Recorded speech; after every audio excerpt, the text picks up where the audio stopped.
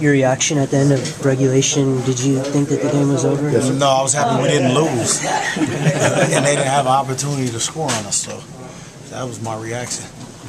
What did uh, Houston do differently in this one after you guys so thoroughly dominated them in the previous matchups? Well, they play hard, you know. Uh, uh, they really compete, and you know that's that's a tribute to Coach Adelman, who always has them ready to play, and, and their players kept kept plugging and fighting. Uh, Martin kept scoring, making making tough shots, and um, they got some good players, so uh, they made it hard on us, but uh, our defense came through at the end. You have a potential matchup against Chris Paul. In this later stage of your career, do you still get up for those, you know, those individual matchups? Yeah, you're talking about one of the best point guards in the game. Uh, but um, I'm not. I don't. I don't guard the point guard, so Okay. Why don't you just get a I guard the bigger guard. But uh, you know, he's he plays at a high level, and uh, if that's a matchup that we have. Is you know, that's going to be a tough matchup. And tonight, the Marion post up, was that something you guys were actively trying to exploit against the smaller Lee and Martin? Um, it, that was something that Shawn was going in, so we are gonna, you know, go to him until he got tired. Um, we've done that with Dirk and uh, different guys, uh, you know, throughout the year, and uh, you know, for tricks, he, he, had- he was the bigger guy and he was going, so we were gonna play through him. Is there any difference for you between playing with Jason Kidd and Steve Nash earlier on in your career?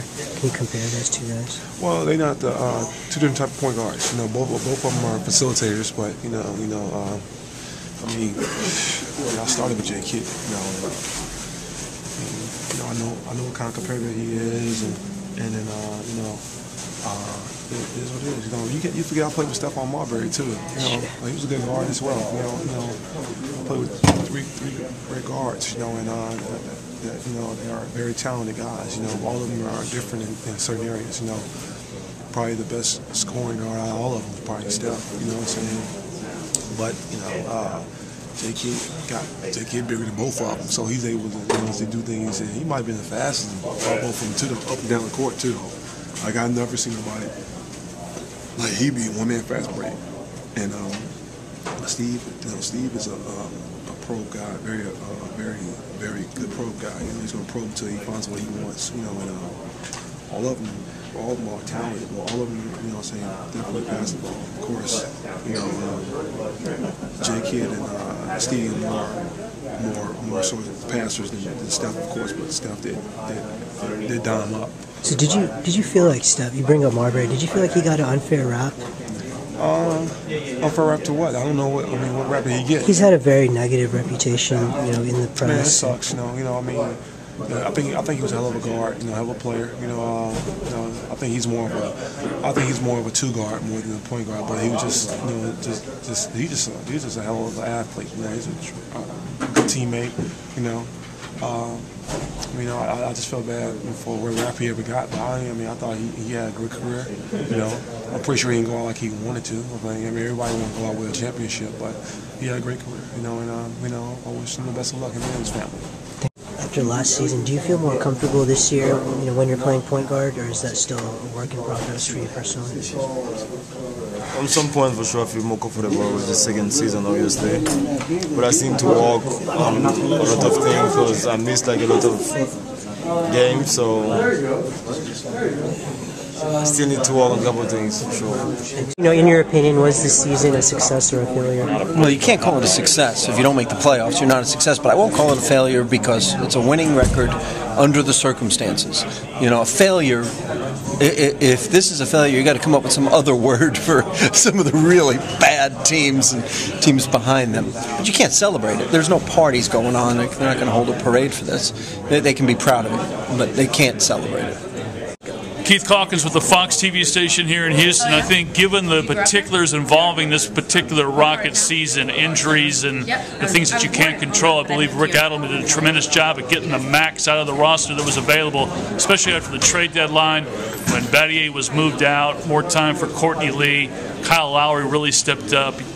Probably a, a top 10 point guard in this league. Not sure anybody really kind of saw that coming. Chase Budinger, young talent, is proving to be a rotation player, I think, on a team that can go to the playoffs. So, in terms of what Rick Adelman did, kind of job he did with the talent that was available for him, given the handicaps of the injury to Yao Ming, I think they pretty much maxed out in terms of expectations. Uh, Jordan, you said you might have a new look next year. Can you, can you talk about that? Um, I mean, I don't really know yet. I mean, I'm still thinking about uh, snipping off the dreads. Uh, depends on how depends on how I feel, but you know, we're gonna see. Your good friend Dwight Howard. Do you think he would have any interest coming here to this team? I, Oh, I mean, I you're going to be in his ear. since I'm on since I'm on the team, I mean, there's always a chance. Like I said, me and Dwight, we we real good friends, but uh, that's a decision for Dwight. I mean, he's been in Orlando, been a fan favorite. He had that city on his back for his whole career, so it's gonna be tough to pull him away from that. This was the first full year that you've been here that Tracy McGrady was not a part of the team. Can you talk about that, how different things were? Um, you know, that was so long ago. Uh, it's just, I don't know, I ain't really thought about it. You know, that era is long gone. What he did for this organization was great. And, uh, I mean, I think we played well without, uh, without the McGrady. How different is it not having that star to rely upon and just having a group approach now? Well, it's a lot different, but, you know, we've gotten used to it. We've won. We've won without a star. Had winning seasons both years, so we just got to do extra stuff to get over the hump. Can you, you know, evaluate your rookie season? A lot of people have you on their all rookie team, but what can you, you know, how do you feel about how you did? Um. I thought it pretty well. Uh, can always do better. I had my ups and downs, you know, being sent down to D League early, but when I came back, uh, try to come back and make a strong impact. Um, try to play well with my teammates and get wins. So I think uh, earlier in the season, when the first season first began, you know, I don't think I played so well. You know, coming off the bench, uh, getting maybe five minutes a game, just because couldn't find time for me in the rotation, you know, with Yao, Scola, Brad, Jordan, you know, then progressively as the year went on, you know, um, coach started having more confidence in me and put me in the game. So, you know, overall I thought, you know, my first year was was a pretty good year.